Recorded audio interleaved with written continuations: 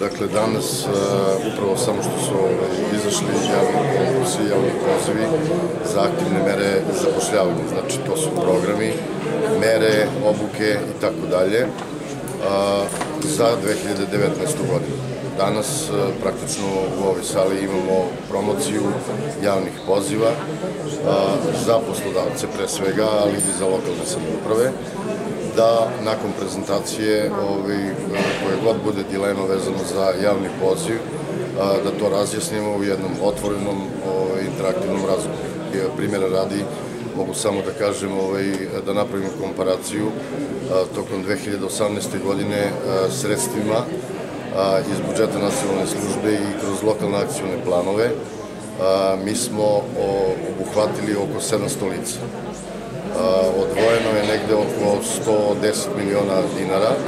Ove godine će ova sredstva da budu još uvećena za desetak posto, tako da će budžet nacionalne službe biti više od 80 miliona dinara, a lokalne samouprave su tokom 2019. već su odvojile za 7, 7,5 miliona više para, 42-3 miliona. Tako da obuhvat lica aktivnim merama zapošljavanja kroz različite programe zapošljavanja kroz različite mere, obuke, prekvalifikacije i tako dalje, biće skoro hiljadu, hiljadu lica.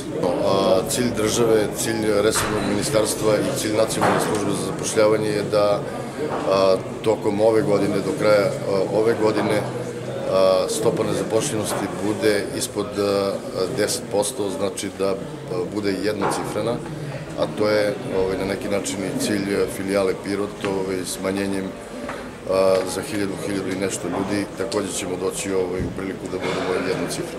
Na evidenciji je na području okruga negde oko 9800 aktivnih tražioca zaposlenja, a u Birotu je negde oko 5600.